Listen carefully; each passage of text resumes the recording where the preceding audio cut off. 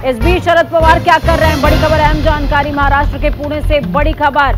आज मोदी बाग में शरद पवार करेंगे शक्ति प्रदर्शन। एनसीपी नेताओं के साथ शरद पवार शक्ति प्रदर्शन करने वाले हैं। अजीत का फैसला विपक्षी एकता के लिए झटका से दुआ, लेकिन चाचा हार नहीं मान रहे हैं। खबर है कि एनसीपी नेता जितेंद्र अवाड़ को विपक्ष का नेता और पार्टी का मुख्य सचेतक नियुक्त किया गया है।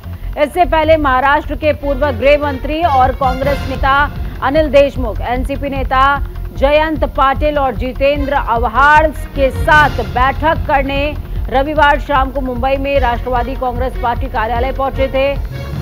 और बैठक के बाद यह अहम फैसला लिया गया कि अब सदन में विपक्ष के नेता होंगे एनसीपी के विधायक जितेंद्र आभार वहीं कल महाराष्ट्र की सियासत में हुई उठापटक के बाद कांग्रेस नेता अशोक चौहान ने ये भी कहा है कि कांग्रेस ठाकरे गुट और एनसीपी के साथ गठबंधन में है और हमारा गठबंधन बदस्तूर जारी रहेगा।